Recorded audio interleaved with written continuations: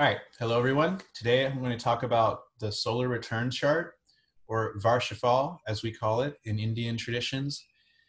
And this will be just a little bit of an introduction and a tour around your Varshafala chart or solar return chart.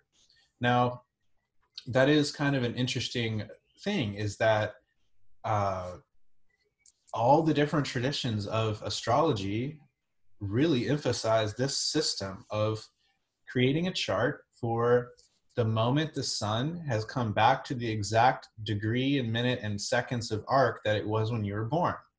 So the idea is that your first, your birth chart you've already looked at is like your solar return for year zero.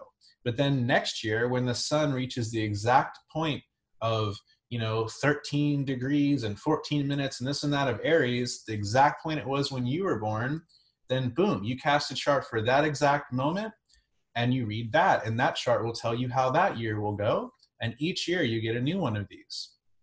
And in and that's what's so fascinating is that this this system is was a very big deal in ancient india but it was also a very big deal in ancient persia and it was also a very big deal in the greek uh, hellenistic traditions. So really all traditions that have 12 sign zodiacal astrology have really emphasized solar return charts or Varshafal.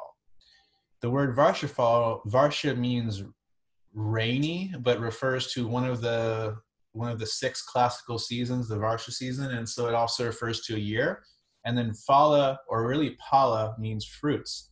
So Varshapal is actually how it should be pronounced, but just in modern day parlance, it's being pronounced as Varshafala. But yeah, Varshapal Varshafala. This means the fruits, phala or pala of the year, of yeah, fruits of the year. What kind of fruits are going to come forth for the person in this year? That's what Varshafala means. But this is the same exact idea as, you know, solar return charts. Now, the techniques are actually a lot of them are very very very much the same but there are of course a lot of specific unique things that the vedic uh, astrologers seem to have developed while over the centuries of them doing solar return astrology. So there are uh, there are these things called sahams, which are what we call like the lots or the parts of fortune, I believe, in Hellenistic or Greek traditions. You guys can correct me if I'm wrong, because I really don't know much about the other traditions outside of Vedic astrology. But uh, these we call them sahams. So we have the Punya Saham or the auspicious Saham. Each year you have a part of the chart that's really auspicious. And you see there's a zillion other ones too. The Punya Saham is the most auspicious one. This relates to the part of fortune in Western, classical Western traditions. Um, so this is, you know, of course, just a tour through the Vedic style of solar return chart, but this is what I wanted to show you guys about. So yeah, so we have sahams, we have these different types of strengths, we have these different dashas. It's crazy. So what do you start with? Um, if you happen to have Kala, you should pull up the Varshafal screen. If you don't have Kala, what are you doing? You got to have Kala if you're going to be a serious astrologer. Um, you know, there's don't don't go buying any of those horrible other softwares like Jagannath or Parashara's Light, or I don't even know if those are still around now. But when I was starting out, there were a bunch of terrible softwares. And Kala is the best one. It's also the cheapest one and the most customizable, and the one of the only ones that's actually created by someone who really knows their astronomy and their calculations. So you got to have Kala start with. Then you in Kala you pull up the Varshafal screen, and it has its entire own screen with all these different uh, things. If you double click or right click, you get a bunch of different tables that are helpful. You can look at even the Vargas within this yearly chart. Um, but to start with, with solar returns, you get something. If you look at this table, you see the year and you can select the age. You can go backwards or forwards. You get a table. See how it says Munta, Varshapati, and these other things. These are these other patis or lords the strongest of these becomes the year lord or the Varsha lord, Varshapati. Pati means lord, like Ganapati for Ganesha, you know, Varshapati. So year lord, moon. So you want to look at the year lord. You also want to look at the ascendant lord. Sometimes these are the same. In this chart, they're the same. The ascendant is Cancer, so the ascendant lord is the moon, and also the year lord is the moon. And then there's a third factor you want to look at, the munta. The munta is in Virgo in this one, and so the lord of the munta is Mercury. So these are the three important factors we want to look at. The Lagna Lord is probably the most important, but you want to look, read the Year Lord and the Munta Lord as well. And these are like the self factors. So this is my Varshafal for the year 2017. The Moon and Mercury were the were everything for me that year. And Moon and Mercury are Vaishya planets, are merchant planets. And this was a big year for me for building my astrology business and um, yeah, and all of that. So the munta, you might be wondering, what is the munta? Well, the munta or muntaha, as it some, sometimes is said, from the time you're born, if when you're born, you get that first sign that is your lagna as the muntaha, and then it and then it changes one for each sign. So this year it's Virgo. The year before it would have been Leo. See how the Munta says Leo it would have been there. The year before it would have been in Cancer.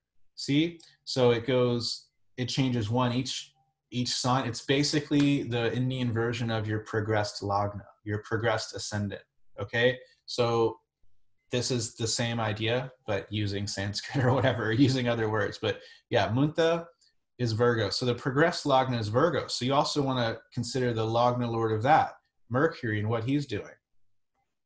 And analyzing these three factors will give you a lot of right off the bat, you'll have a big emphasis. So say say Venus is the year lord and the munta or the ascendant lord or all three or something, then you know that relationships and Venus factors are already going to be a big thing for this year right off the bat.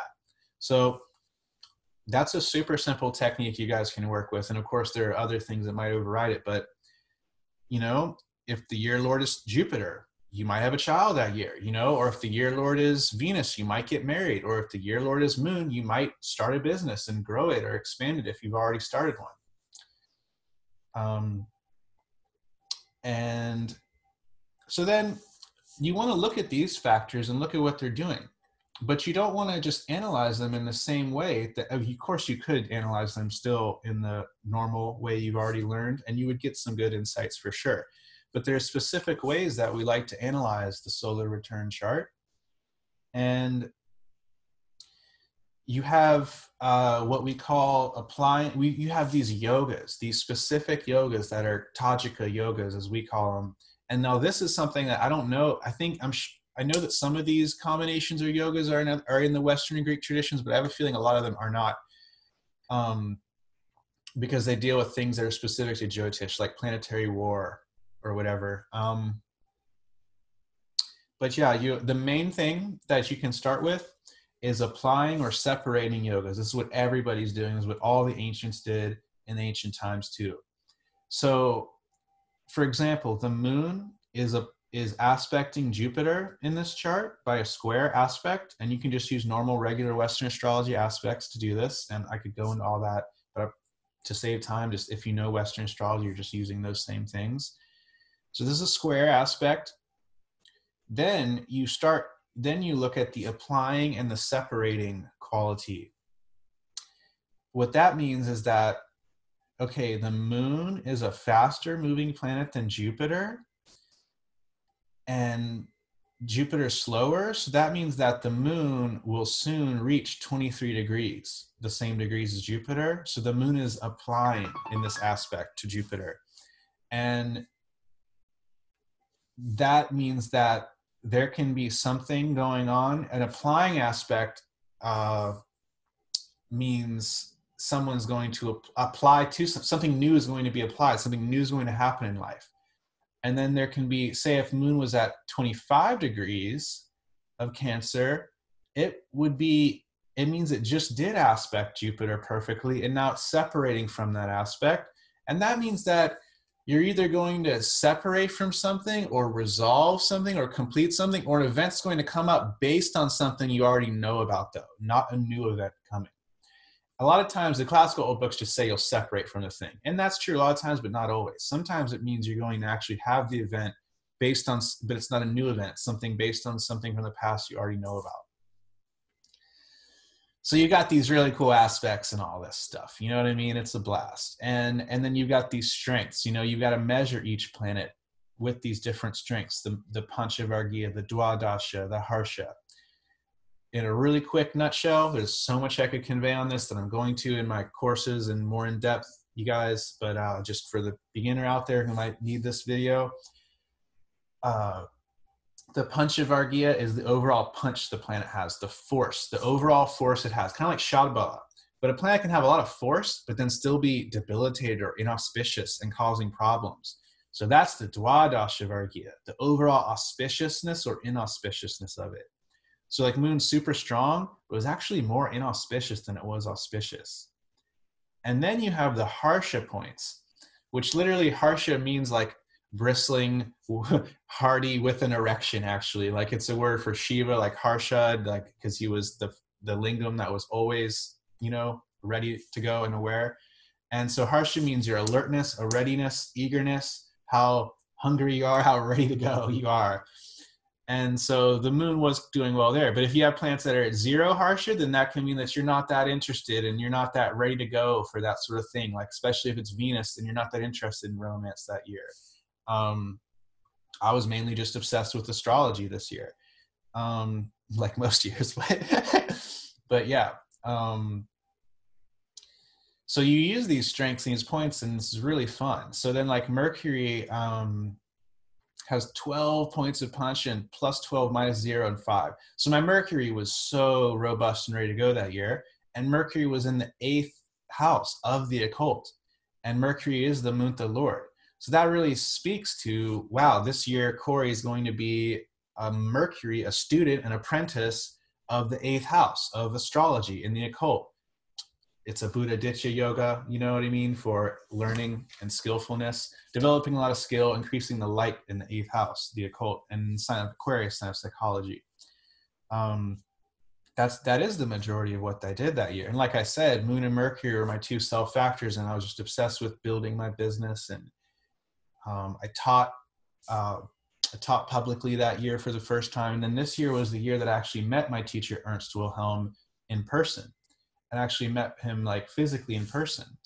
And what's fascinating is that there's different dashas that show that. But first off, the yoga of the moon to Jupiter shows applying to Jupiter, applying to a guru.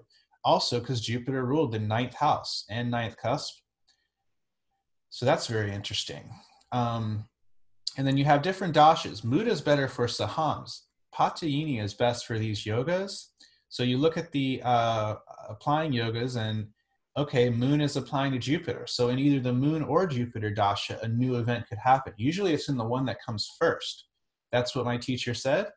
And his own techniques, his own teachings, Ernst taught this, and his own teachings explain why I met him when I met him. Because it was the moon Patyayini dasha 1127 2017 to 1220. Less than a month worth of time out of this year that happens to be the time that I flew to Sedona or flew to Prescott, hung out with Ernst for a weekend, and then me and him and Ryan and other astrologers went to Sedona. So I met a bunch of other astrologers in Sedona, like KRS and blah blah blah, and went back, and and that was just a huge, uh, huge month for me for gurus. You see, for applying to Jupiter, applying to gurus, and then after that, the Jupiter period came. So that was kind of funny. So you know, it was just kind of more of the same going on. And then after that, the Saturn period came, and Saturn is ruled by Jupiter. So it all, the rest of that year was still just carrying out over those themes. So it's kind of cool how the how my teacher Ernst Wilhelm's own techniques show how you know the applying yoga of the moon, the year lord, to Jupiter is going to be um, an event, and it was secretly inimical and I think that's actually because yeah, like a lot of the teachers that I met there and gurus, I was kind of like, uh, like I was kind of grossed out by a lot of the people that I met at the Sedona conference because a lot of them kind of acted like divas, and I was warned of that. You know, um, I was I was warned about that, and and it turned out to be the case. And so I I mean, I hardly attended any actual classes. I just hung out in the lobby with Ernst and talked to various astrologers that came in and um but yeah i didn't nec- you know yeah and, and a lot of the other astrologers there weren't really they felt kind of i don't think they really liked that we were just hanging out in the lobby and not necessarily going to their classes but it was just kind of happening all so fast so i think that there were a lot of people that were um I don't know. There was definitely, you know, there was definitely some parts of it that I saw u- uglier sides of the the astrology industry, you could say. And you know, Jupiter was plus six, minus six at seven and ten. What's fascinating is when I got back, it was around this period where I got very dissolute. Like I was very high on the whole idea of astrology in the whole world, and when I got back, I saw more of the darker side. I saw how people were behaving, how they were um, so much different from being in person when they conveyed themselves on YouTube or in public and made posts. And I got really disillusioned with the whole career side of being an astrologer. And that was also the very end of my Saturn return, which also had to do with being disillusioned. And uh, yeah, so I was kind of like more disappointed by a lot of the way that some of the gurus and Jupiter people were behaving and stuff, and what I saw at the end of that dasha. But still, overall, really amazing um, what this Varshafala chart shows. So I hope you guys enjoy that, and uh, yeah, hope that helps. Take care, you guys. Oh, and if you're really wanting to get more into the technical study of astrology, really you're trying to be an astrologer yourself, or you just really love learning this and are devoted to yogic philosophy, you should really check out my Teachable I'm now offering um, the Nakshatra course and the Jyotish and Yogic Philosophy course together for only $25 a month. There's a ton of really in-depth content on there that's, you know, really, really heavier stuff than what's meant for YouTube. All right, you guys, take care. Check that out if you want. There should be a link below. Okay, take care. Bye, y'all.